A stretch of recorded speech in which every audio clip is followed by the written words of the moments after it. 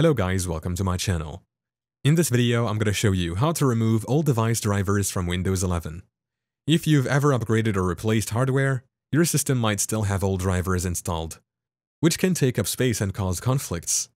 Old device drivers are leftover software from hardware you no longer use. Removing them can free up space and improve system performance.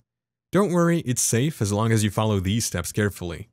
First, we need to enable the option to view hidden drivers. Press Windows plus S, type Device Manager, and open it.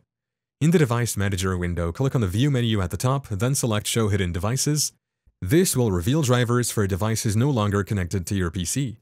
Expand categories like sound, video, and game controllers or universal serial bus controllers to find old drivers. To remove an old driver, right-click on the device you no longer use and select Uninstall device. A confirmation window will pop up. Check the box that says Delete the driver software for this device, then click on Install. Repeat this process for any other old drivers you want to remove. Next, we'll clean up leftover driver files. Press Windows plus S, type Disk Cleanup, and open it. Select your system drive, usually C, and click OK. In the list, check Device Driver Packages if it appears, then click OK to delete these files. After uninstalling drivers and cleaning up files, restart your PC to ensure the changes take effect. This will help your system run more efficiently. And that's it. Thank you for watching.